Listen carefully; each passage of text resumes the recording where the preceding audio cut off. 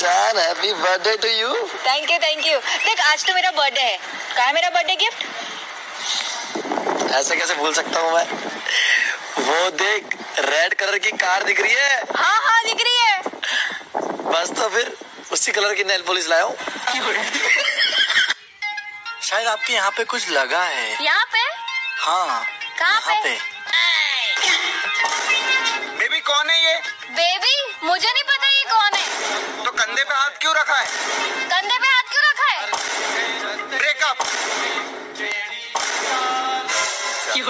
चलिए ले भाई तूने मेरा काम कर दिया। बहुत पकाती थी यार। अगर वीडियो अच्छा लगा आई लव यू करवाली बेचती अबे चार बार हाँ बोली।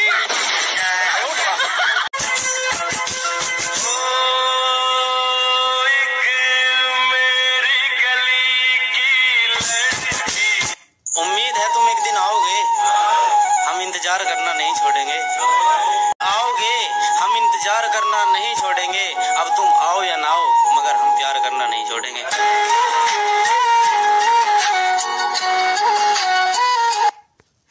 करेगा से पसंद किया मैं जानता है बट्टा लाडले।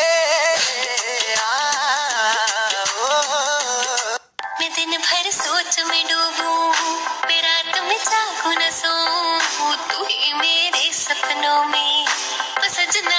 अगर ज़िंदगी में पैसा कमाना है मेरा भाई तो अपने दोस्त की किडनी बेच दो मेरी जान।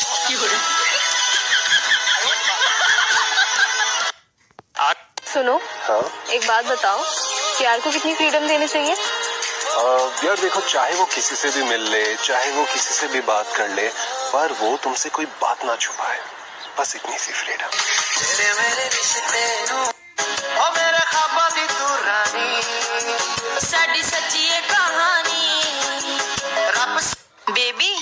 मुझे ना एक लहंगा चाहिए। वो भी डिज़ाइनर वाला। कितने का आएगा? तीस हज़ार में आ जाएगा। क्या हुआ? बेबी मुझे भी तुमसे कुछ चाहिए। क्या बेबी? ब्रेकअप। अरे मैं तो मज़ाक कर रही थी मुझे कुछ भी नहीं चाहिए। मैं तो मज़ाक कर रही थी। मेरे नाम से नाम जुड़े तो मेरी सोती हुई किस्मत जग जाए। कि उसका मेरे नाम से नाम जुड़े तो मेरी सोती हुई किस्मत जग जाए। एक ख्वाहिश है इस दिल की, पहली मुलाकात में ही वो आकर गले लग जाए। तेरी body I fell in love at first sight.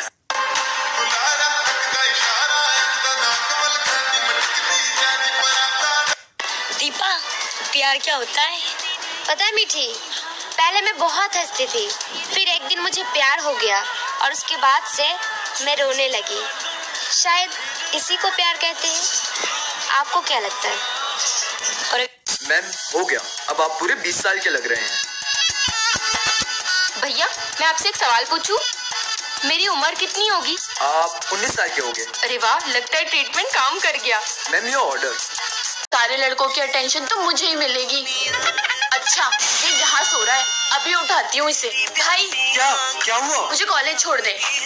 मैं नहीं जा रहा। छोड़ देना यार कॉलेज ये ले दस रुपए पकड़ ऑटो ले और निकल यहाँ से। शकल से समझदार और दिमाग से थोड़ी बच्ची लगती हो। के शकल से समझदार और दिमाग से थोड़ी बच्ची लगती हो बात इतनी सी है। आप अच्छी लगती हो।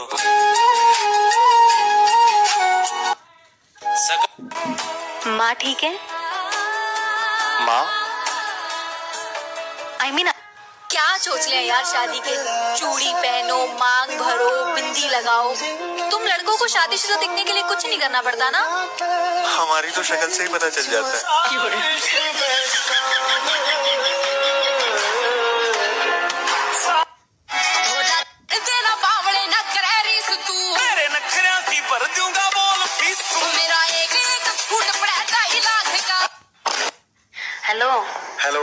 सुनो जी मुझे ना लेने आ जाओ। मैं नहीं आता ही भी तो गई तू। दस दिन नहीं हुए तेरे को गई हुई। यार लेने आ जाओ यहाँ ना। मैंने मम्मी के साथ भाई के साथ भाभी के साथ सबके साथ लड़के देख लिया। जो मज़ा आपके साथ है ना लड़ने वो किसी के साथ नहीं है। मैं कपड़े पैक कर ली लेने।